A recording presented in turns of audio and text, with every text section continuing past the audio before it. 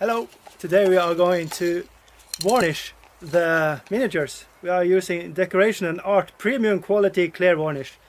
As far as I think and feel, this uh, clear varnish matte is very good. I feel like it's very good. It, it, it protects the metal minis in a way I haven't seen before. I really like how it's uh, making um, it's a layer on top of it. it it's uh, very good protective.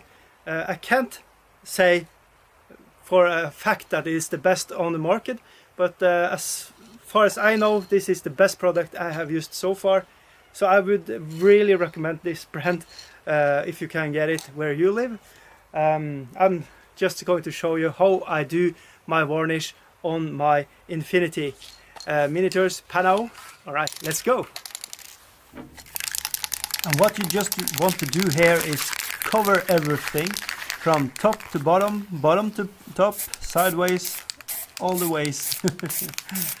and what you want to accomplish with this in small bursts are getting the, all of the miniatures coated because they are uh, definitely metal miniatures from Infinity so to avoid shipping and like taking very good care of the miniatures when you are handling them with your hands and everything yeah, this is the way.